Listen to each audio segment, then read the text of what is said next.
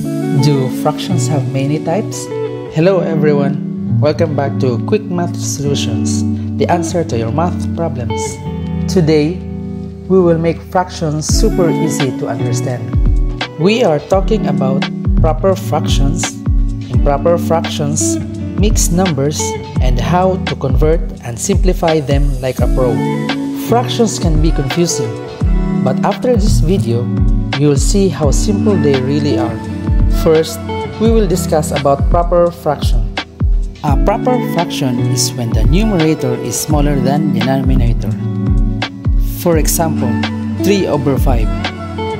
3 is smaller than 5, therefore, it is a proper fraction. Easy, right? Second is improper fraction. An improper fraction is when the numerator is bigger than the denominator.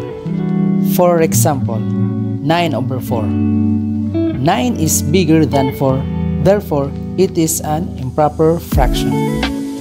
Third is a mixed number or mixed fraction. A mixed number is a whole number plus a fraction. For example, 2 and 1 fourth. We have a whole number which is 2 and a fraction of 1 over 4.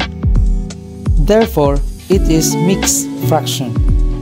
Now, it's easy to identify what type of fraction we are dealing with, right? Also, we will discuss on how to convert mixed number to improper fraction. Now, let's convert 2 and 1 4 to an improper fraction. Step 1. Multiply the whole number, which is 2, by 4 over 4. But wait, why 4 over 4? Because the denominator of the fraction is 4, and 4 over 4 is equal to 1. Multiplying by it doesn't change the value, it just puts the whole number into fraction form.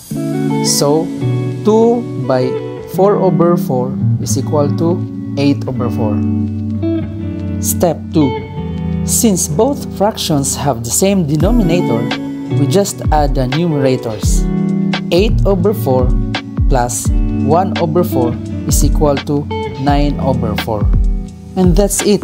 9 over 4 is the improper fraction form of 2 and 1 fourth. Super easy.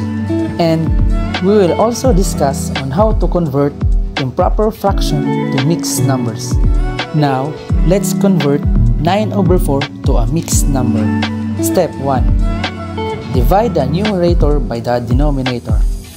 So, 9 divided by 4 is equals to 2. So we have 2 remainder 1. Step 2. The quotient, which is 2, becomes the whole number.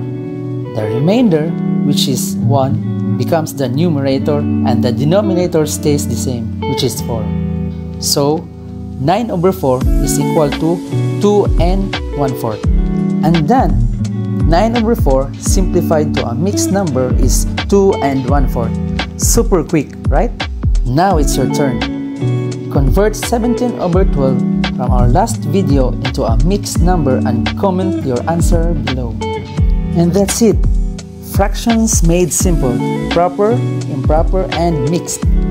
If this helped you, don't forget to like, share, subscribe, and comment your answer below.